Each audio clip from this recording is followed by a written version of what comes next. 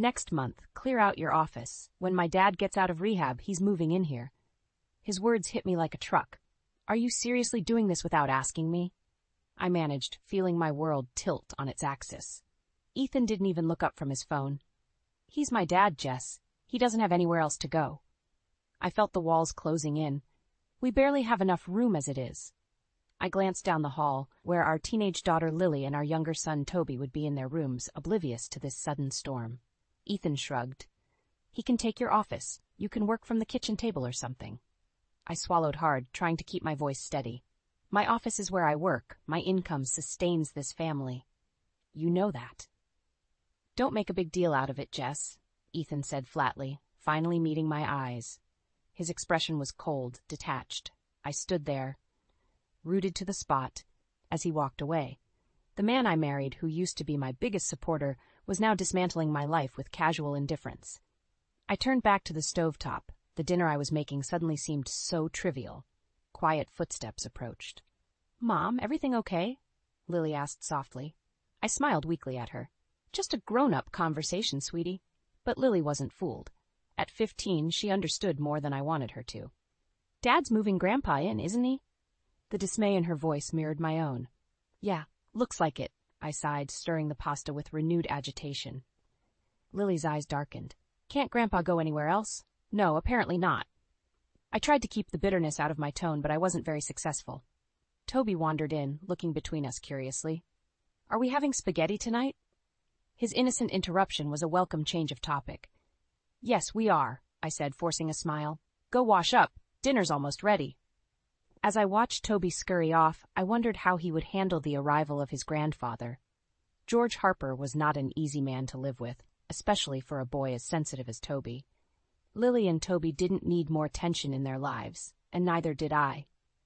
Ethan's voice broke through my thoughts again, calling from the other room. Jessica, where's the insurance paperwork? In the filing cabinet, I called back, my hands gripping the sides of the sink until my knuckles turned white. It wasn't just the immediate impact of George moving in. It was the years of Ethan slowly growing more distant, more absorbed in himself and his father, that stung the most. Dinner was a subdued affair. Ethan was engrossed in his phone, Toby rattled on about his science project, and Lily ate in silence, her eyes flicking to mine every so often. Only the clinking of cutlery filled the room. After dinner, I escaped to my office, the room that would soon be George's. Staring at the neatly lined shelves and my meticulously arranged desk, I felt a sudden surge of anger. How dare Ethan make such a monumental decision without considering the impact on our family? I had sacrificed so much, worked so hard to build a career while managing our home, and now this. Ethan poked his head into the office.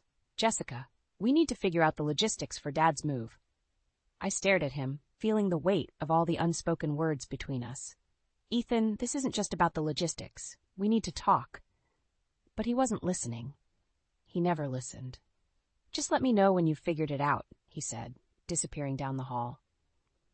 I sat down heavily at my desk, a sense of resolution settling over me. Something needed to change. This wasn't the life I had envisioned for myself or my children. If Ethan wouldn't see reason, maybe it was time I took matters into my own hands. The alarm blared at 6 a.m. sharp. I dragged myself out of bed, feeling the weight of yet another exhausting day ahead. I peeked into the kids' rooms to make sure they were waking up. Toby was already up, working on his science project. Lily was half buried under her covers, grumbling at her alarm clock. Rise and shine, I said, giving her a gentle shake. She groaned, but sat up, rubbing her eyes. Downstairs, I started breakfast while checking email on my phone. Balancing a demanding job and household was a juggling act. As I poured cereal for Toby and packed lunch for Lily, I glanced at the list of tasks waiting for me at work. The new project deadline loomed, and there was no room for error. Ethan wandered into the kitchen, looking like he had slept just fine. Morning, he mumbled, grabbing a coffee cup. Morning, I replied coolly, avoiding eye contact. The tension from last night still hung in the air. Mom, can you drop me off early today? Lily asked, shoulders slumped. I need to go to the library before class. Sure thing. I kissed the top of her head. Ethan looked up from his coffee. Don't forget, my dad's coming over today to check out the house. I bit back a retort. I didn't forget. The drive to school was quiet, Lily staring out the window. Suddenly, she spoke. Mom, do we have to let Grandpa move in? I took a deep breath. Your dad's decided and we have to make the best of it, I said, even though every word felt like a lie. At work, I threw myself into my tasks. My team was depending on me to lead the project to success. Between emails, meetings, and coding, the hours flew by. Still, the thought of George moving in nagged at the back of my mind.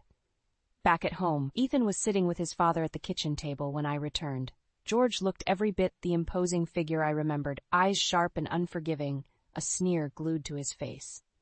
Ethan, George said with a gravelly voice, this house might be too small for comfort. Are you sure it's the best decision? My office will be your room, I interjected, forcing a polite smile. We'll manage. George's eyes flicked over me dismissively. We'll see.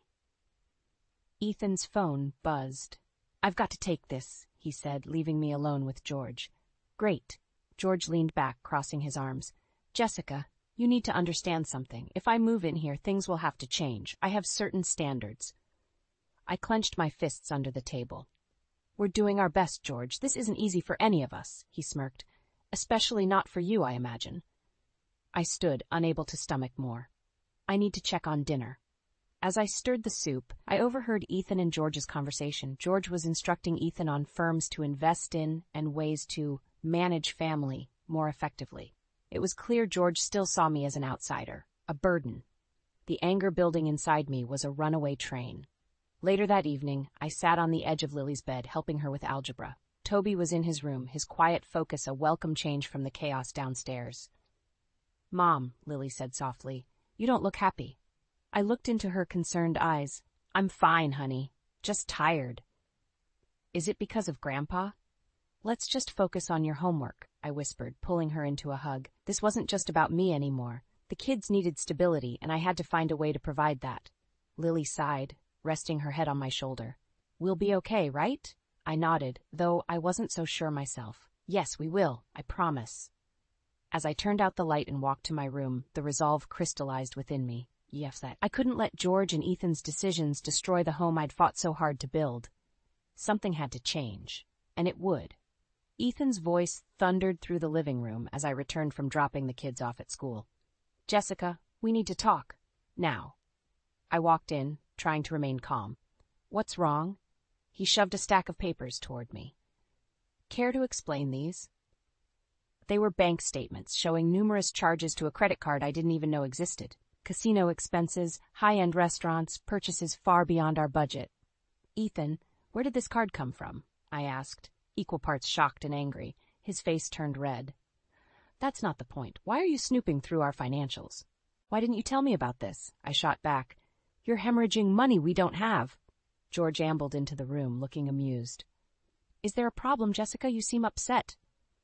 I'm upset because as your son has been hiding our financial ruin, I said, my voice tight. George chuckled darkly. Oh, Ethan's always been a bit reckless with money. You should have kept a closer eye on him. Ethan stood there, defiant. It's under control. I just need some time.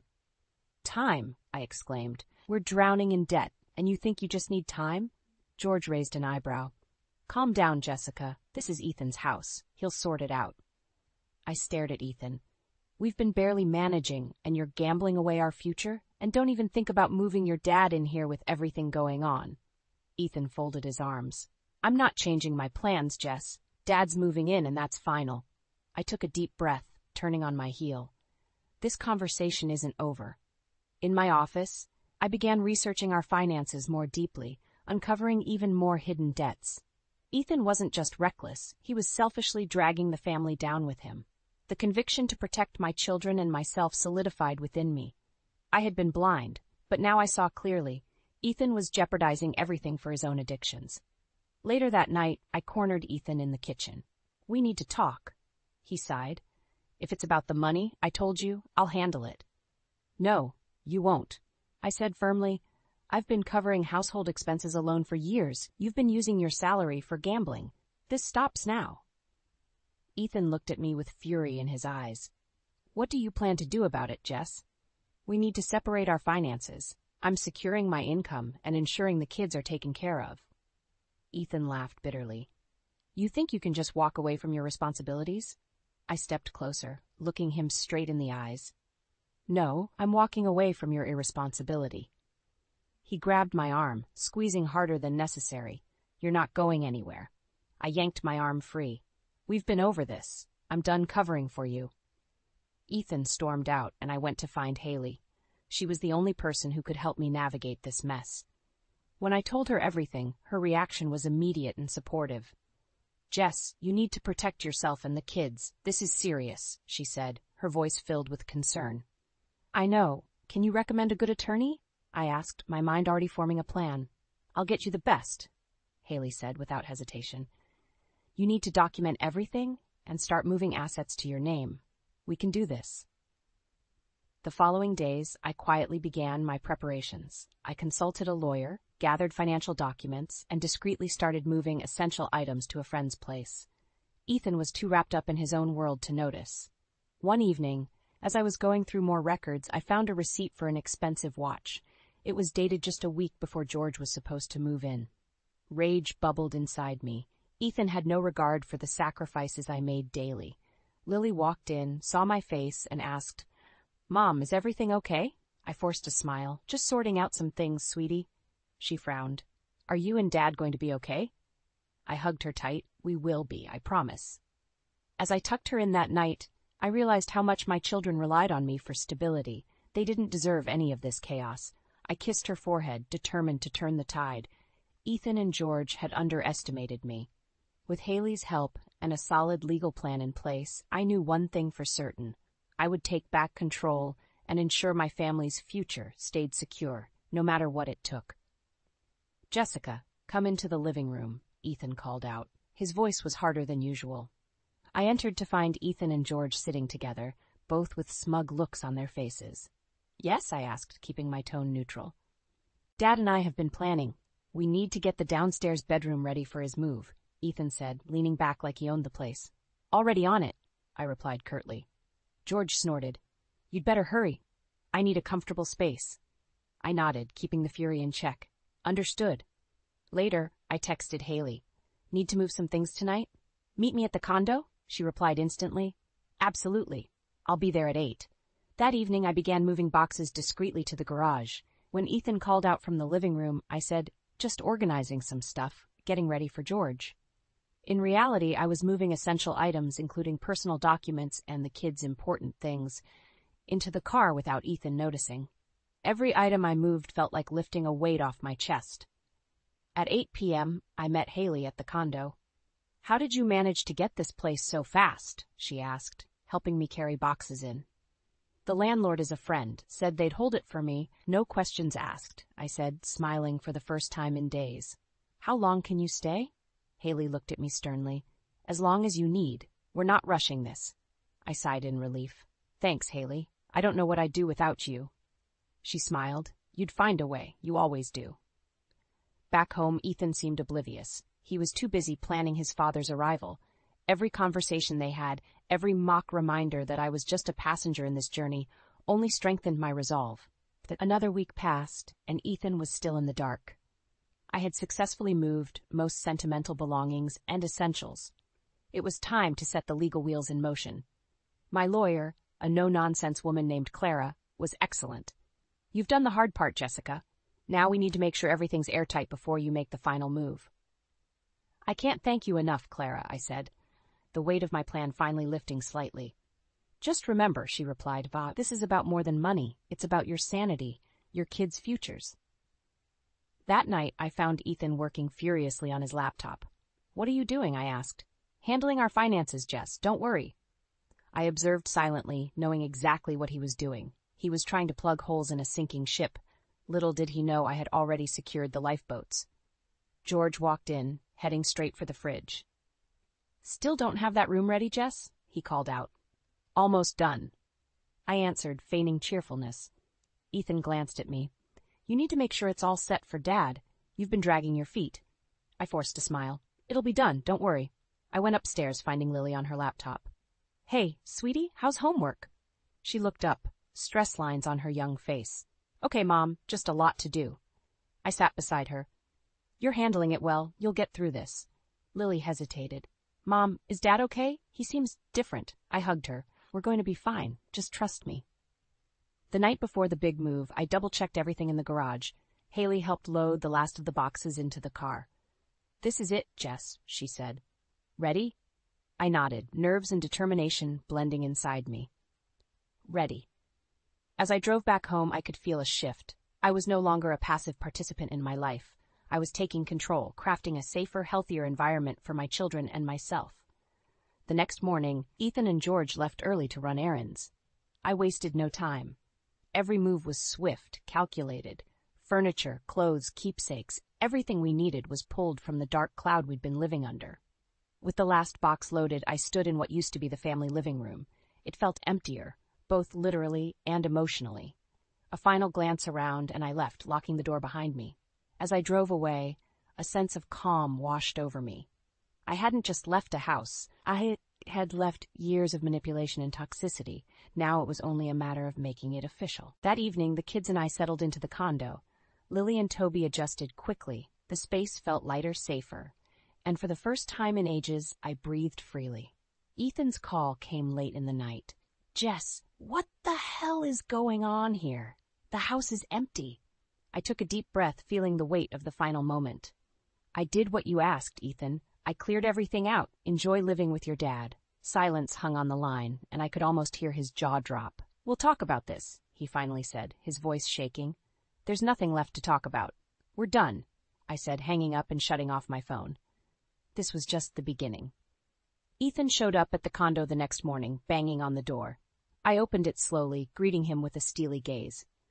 Jessica, what have you done? He fumed, eyes wild with anger. I've made sure our kids and I have a safe place to live, I responded calmly, stepping outside to prevent him from causing a scene in front of Lily and Toby. He tried to push past me, but I stood firm. You're not coming in, Ethan. His expression grew darker. You can't just run away with the kids. This is kidnapping. No, Ethan.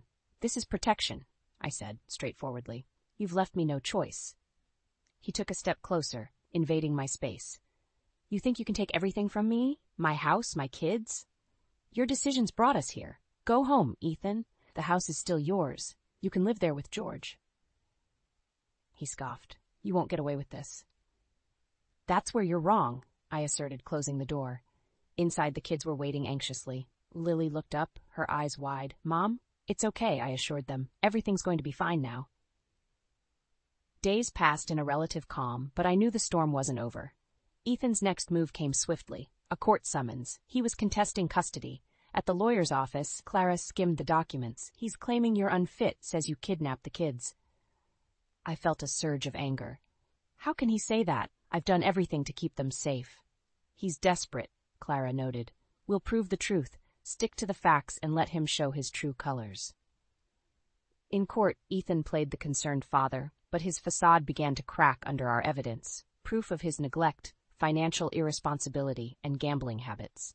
My detailed documentation and the calculated plan were working. After a grueling session, the judge finally spoke. Until a full investigation, custody remains with the mother. Mr. Harper is granted supervised visitation.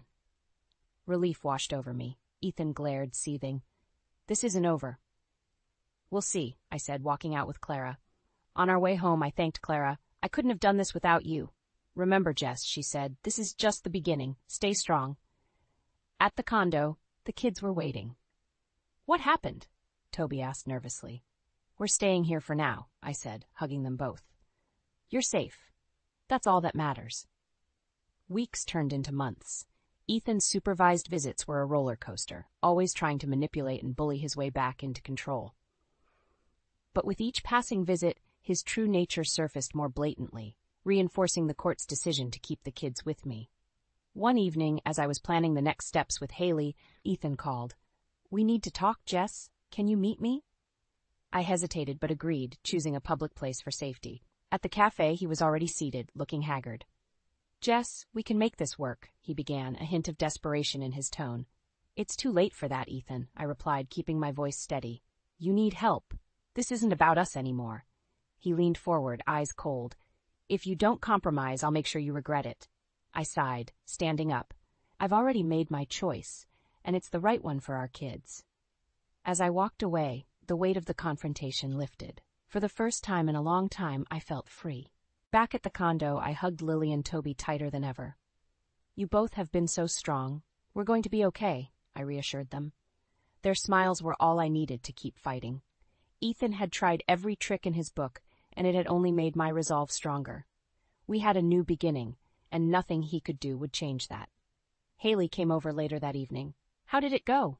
It's done, I said, feeling lighter. He's out of tricks, she smiled. You did it, Jess. We clinked our glasses together. To new beginnings, she toasted. To new beginnings, I echoed, finally at peace. I can't believe you think you're going to get away with this, Jess. Ethan's voice snarled through the phone. This isn't over.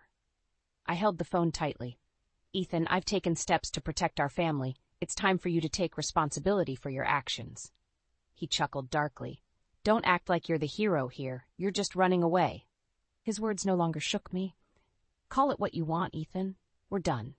Hanging up, I sighed and started packing the kids' lunches. It was just another day of work, school, and trying to keep everything together. At the office, my boss called me in for a meeting. Jessica, your performance has been exceptional, considering everything you're going through. Thank you, I said, appreciating the acknowledgement but wary of what's coming next. We're putting you up for a promotion, senior project manager. I was stunned. I don't know what to say. Say yes, he said with a smile. You deserve it. As the day continued, Haley messaged me. Meet me tonight. We need to finalize the move. After work, I picked up the kids and explained the plan. We're making the final move to our new place tonight. We'll sleep there from now on. Lily hugged me. Really? No more back and forth? Really, I confirmed. At the condo, Haley was already moving the last few boxes. Hey, how's it going? I smiled. Lily and Toby are excited to settle in. You deserve this, Jess. Don't let him get into your head. The evening was a whirlwind of arranging furniture, unpacking clothes, and making the space truly ours. As I tucked the kids into bed, I felt a sense of peace washing over me. Later, Haley and I sat down with a cup of tea. I heard from Clara today. The court date set for next month. How did Ethan take it? she asked. As expected. Not well, I said, rolling my eyes. But we're prepared. Haley put a hand on my shoulder. You've got this. You're stronger than you know. Finally, alone in my room, I allowed myself a moment to breathe. I had done it. We were in a safe place. The uncertainties of the future still loomed, but for now we were okay. The next morning, Ethan showed up at the condo, fuming. Jessica, what did you think you were doing? Ethan, we've discussed this. The kids and I are moving forward. He stepped closer, eyes blazing. You can't just erase me from their lives. They deserve a stable environment, I said firmly, something you couldn't provide. He laughed bitterly. You think you're so noble? You're breaking this family apart. I held my ground. You did that long before I made any moves, Ethan. You're going to regret this, he spat, turning and leaving. With Ethan gone, the weight lifted slightly. I knew the battle wasn't over, but for the first time, I felt confident it was one I could win.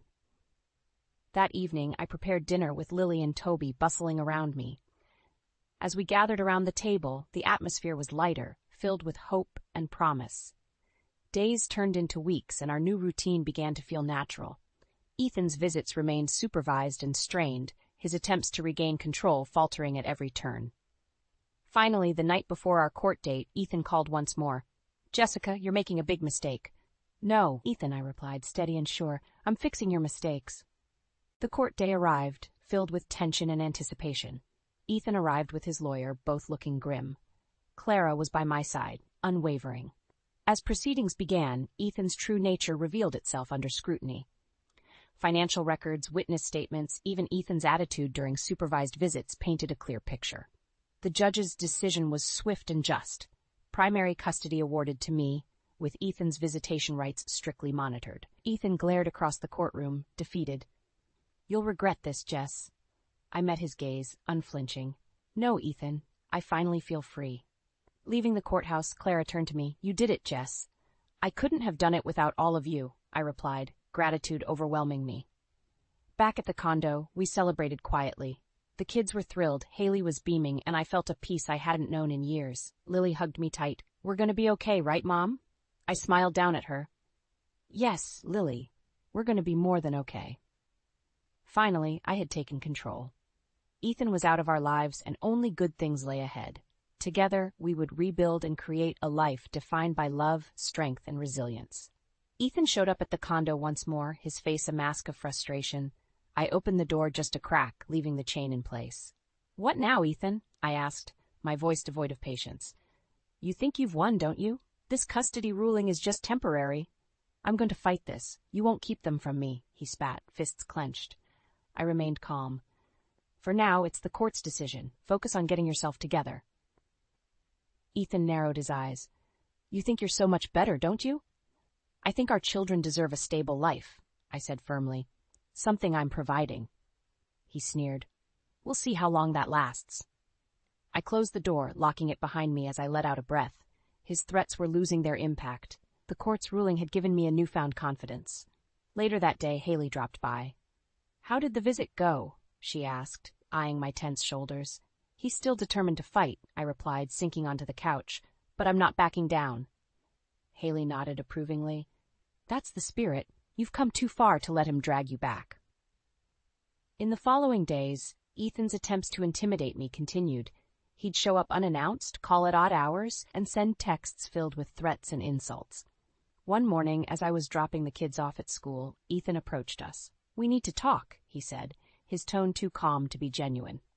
Lily clung to my arm. Mom, don't leave us. It's okay, Lily. Go inside. I'll be right here, I reassured her, keeping my gaze on Ethan. Once they disappeared into the school, I turned to Ethan. What do you want? You're punishing me, he said, his veneer of calm cracking. I want to see my children without restrictions. You need help, Ethan. Until you get it, these restrictions stay. You can't do this to me, he insisted, desperation creeping into his voice. I didn't do this. You did. I walked away, not waiting for his response. At work, the promotion news spread. My colleagues congratulated me, the office buzz filled with positivity. Even as I immersed myself in new responsibilities, Ethan's dark shadow loomed ever present in my mind. One evening, the kids and I were having dinner when my phone buzzed with a call from George. Hesitation gripped me, but I answered. Jessica. George's rough voice came through. You need to back off. Ethan's suffering because of you. George, Ethan's suffering is his own doing, I replied calmly. He needs to face his consequences. Don't get righteous with me, George growled. This isn't over. It is for us, I said, hanging up. The atmosphere at home lightened, the condo becoming a sanctuary. Lily and Toby adjusted well, their laughter filling the spaces once dominated by tension. One evening, as I tucked Toby into bed, he asked, Mom, are we really safe now? Yes, Toby, we're safe, I assured him, kissing his forehead. The next day, Clara called with an update. Ethan's lawyer has filed for an appeal, she said, keeping her tone professional. Of course he has, I muttered. What's our next step? We fight it with everything we've got, Clara replied. Gather more evidence, more testimonies. We'll prepare for the worst and hope for the best. Days turned into weeks, and Hannah's support became a lifeline. She joined me in late night planning sessions, going over every detail to ensure we were prepared for the court battle ahead. One evening, Haley brought over Chinese takeout. You're holding up pretty well, she remarked, handing me a container. Just doing what I have to, I replied, digging in. Ethan's pushing harder, but so am I. Haley's eyes sparkled with admiration. You're stronger than ever, Jess. As we ate, I felt a surge of determination. Ethan's threats, George's interference, none of it could shake my resolve. My children deserved a life free from chaos, and I would give it to them. Finally, the day of the appeal arrived. The tension in the courtroom was palpable as Ethan and I faced each other. He looked worn, his bravado thin. Clara leaned in, whispering, Remember, stick to the facts. Let the evidence speak. Ethan's lawyer presented his case, but the judge's demeanor remained unreadable. When it was our turn, Clara methodically dismantled every point of the spread risk, presenting solid evidence of Ethan's instability and neglect. The judge deliberated, a hush falling over the room. Finally, she spoke. The custody arrangement remains as is. Mr. Harper's visitation rights will continue to be supervised. Ethan exploded. This is unfair. She's poisoning them against me. The judge's gavel slammed down. Enough, Mr. Harper. This decision is final. Get your life in order. Leaving the courtroom, I allowed myself a moment of relief. Clara patted my back. You did it, Jess. On the drive home, my phone buzzed with a message from Ethan. This isn't over. I deleted the message, focusing on the road ahead. I had won another battle, but the war wasn't over. Yet, as I walked into the condo and saw Lily and Toby's smiling faces, I knew one thing. I would fight until our future was secure. And in that moment, I felt a strength I hadn't known before. Ethan's threats had become a dull roar in the background of my life. The kids and I had settled into a routine that brought a sense of normalcy, something we hadn't had in years. One evening, as we were finishing dinner, there was a knock at the door. My heart skipped a beat, but when I opened it, it was a stranger holding a stack of papers. Jessica Harper? he asked. I nodded, bracing myself. You've been served, he said, handing me the documents before turning on his heel. I closed the door, staring at the papers. It was yet another legal challenge from Ethan, seeking to overturn the custody ruling. Lily and Toby watched me with wide eyes, sensing the tension. Mom, is everything okay? Toby asked. I forced a smile. Just some paperwork I need to look at. Nothing to worry about. I called Clara immediately. Ethan's filed again? It never stops. Bring the papers to my office tomorrow, she replied. We'll handle this. The next morning, I sat across from Clara as she reviewed the documents. He's desperate, Clara remarked, shaking her head. He knows he's losing. What's our next step? I asked. We continue as planned. His pattern of behavior will work against him, she said confidently. Back home, I focused on making life as normal as possible for the kids. We went to the park, worked on school projects, and enjoyed movie nights. For their sake, I had to remain strong. Days later, Ethan called during one of the supervised visits. I can't believe you're still fighting me on this. You're brainwashing our kids. I'm protecting them, Ethan, I replied calmly. This has always been about their safety, he scoffed. You're delusional. They need their father.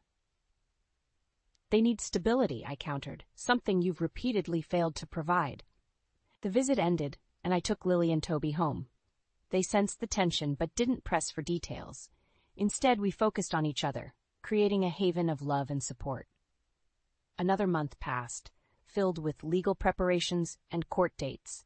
I had to balance my work life with the ongoing battle, but the promotion had given me the flexibility and financial security I needed. My boss had been incredibly supportive, understanding the gravity of my situation.